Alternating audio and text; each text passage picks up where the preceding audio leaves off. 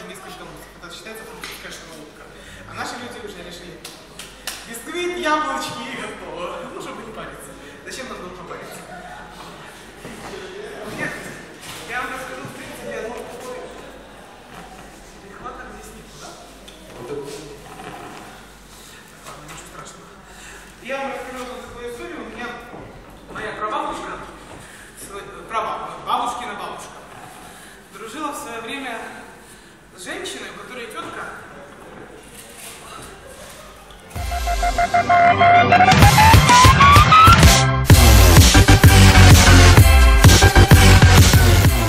и свойства. Сода поднимает по-другому. Разрыхлитель бисквит поднимает равномерно. Сода бывает, что она подняла, ну да, в другом да. упала.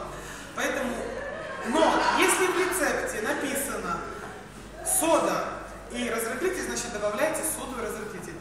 Ну, такое, наверное, самый яркий пример это панкейки. Думаю, все знают, что панкейки это американские оладушки.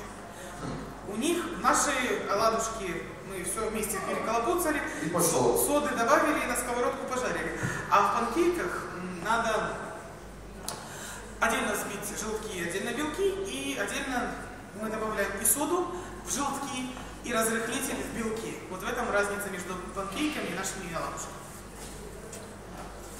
Да, у нас не всегда был неудачный опыт с панкейками, и это было чисто не по моей вине. Мне попалась, к сожалению, бракованная плита, которая просто не хотела жарить.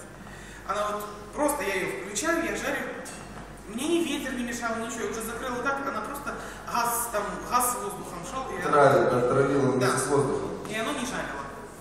Ну, как делаются панкейки, это, это вообще, это, ну, я еще думал, боже, какой панкейки, думаю, да за пять минут слова, ага. Вот так, если плита хреновая попалась, то